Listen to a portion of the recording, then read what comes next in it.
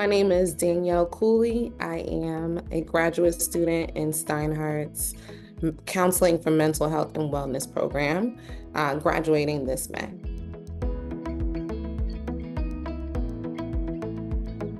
So I'm currently in internship and I am working with a range of populations. My youngest client is currently 16. My oldest is 36, uh, 33. Um, but ultimately, I would really love to center my work and uh, to be able to create um, groups, uh, retreats, and um, other interventions that center around support for postpartum mothers and parents, um, in particular, uh, queer folks and Black women.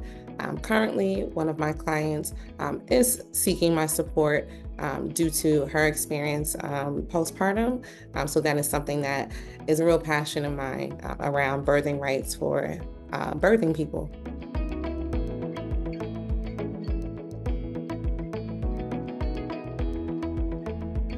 Advice that I would give is really to have a strengths based approach. Um, I'm also a member of uh, Zeta Phi Beta Sorority Incorporated, which is a community conscious and action oriented organization. And one of our founding principles is service.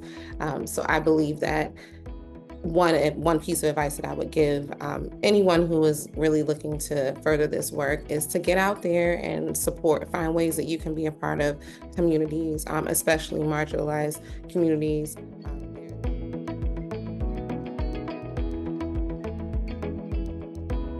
I think back to this quote by Audre Lorde. Um, in summation, it's a quote about self care, uh, but not just self care. Um, she states how self care is an act of political warfare. Um, which means that in order to actually fight injustice, you need to ensure that you're caring for yourself first, um, especially um, if you are a member of a marginalized population. Um, so I personally um, am someone who wanted to get into this work in terms of supporting um, individuals through therapy and therapeutic um, interventions because I find that often uh, we are constantly fighting against a society that is um, constantly reminding us that we don't belong or we aren't enough. Um, and that can be really tiring, can wear on you. Uh, so I try to remind my clients every day that you have to take care of yourself first. Um, so it motivate that really motivates me um, to ensure that they're caring for themselves first because unfortunately the world that we live in won't care for us. Um, so we have to find that within and ensure that we're protecting ourselves so that we can continue to fight injustice and so that we have the energy to really um, withstand um, the injustices that are facing us.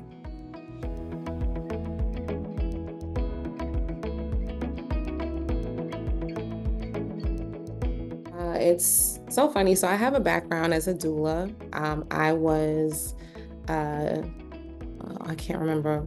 I was trained as a birth doula. I want to say in October of 2019. So it was like right before the pandemic.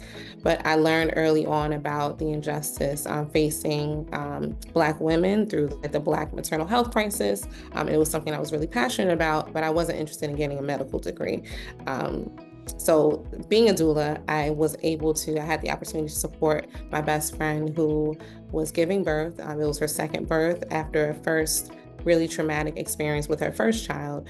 Um, she wanted that support from me. And there was a night where I provided her and her partner with some advice that um, would kind of ease both of their minds um, and the tension that they were feeling, um, the, the, nerves, all of that that they were feeling, experiencing. Leading up to the birth.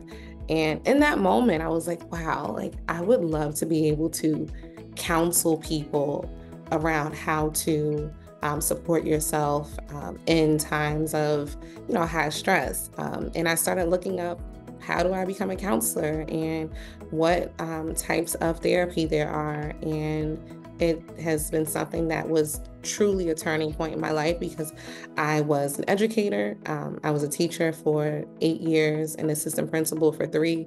And at that moment, I was like, I want to do this.